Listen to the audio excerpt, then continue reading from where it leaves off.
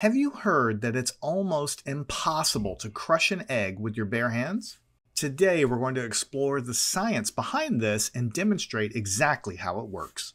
So an eggshell is a very hard structure that protects a very delicate interior. If you take an egg in your hand like this and uh, don't, don't put a pressure point with your finger, but just wrap around it and squeeze, most people cannot break an egg. If you do it, be careful, do it outside, do it over a trash can so it can make a mess.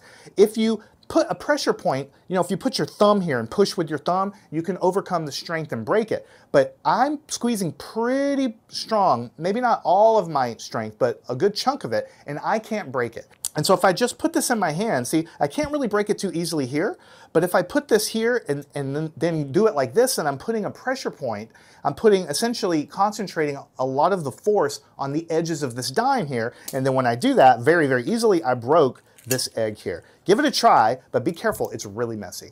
Learn anything at mathandscience.com.